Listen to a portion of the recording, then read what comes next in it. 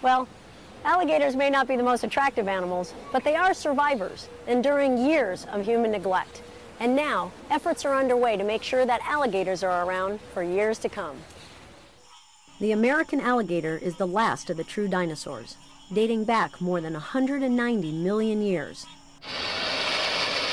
Their ferocious looks and powerful jaws are enough to scare any predator away, even people. They can be dangerous. Uh, you, you have to treat them with respect as you would any large animal. Ron Reynolds should know. He's the reptile curator at Busch Gardens, Tampa Bay. For more than two decades, Ron has cautiously tiptoed around these ancient reptiles. They're not man-eaters and they're not particularly a threat to anybody. If we leave alligators alone, they're more than content to leave us alone. That's good advice that could help save this species. Right now, human intrusion is the biggest threat to the alligator. From land destruction to water pollution, hundreds of acres of wetlands are being destroyed, and with that, prime breeding ground for gators. Many of these alligators were rescued from troubled waterways and given a new home at Busch Gardens.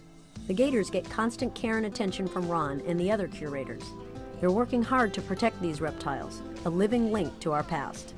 Protecting this cold-blooded animal involves more than just hard work. It takes education and awareness.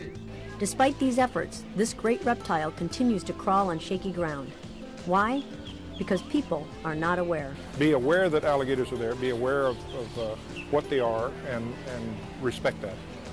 If our population expands uh, to the degree that we think it might, it, it could mean real trouble. You know, these guys are going to be crowded out of any place to live. People have a choice about where they live and where they can go and how they can get there, and alligators don't. There's good news for the American alligator.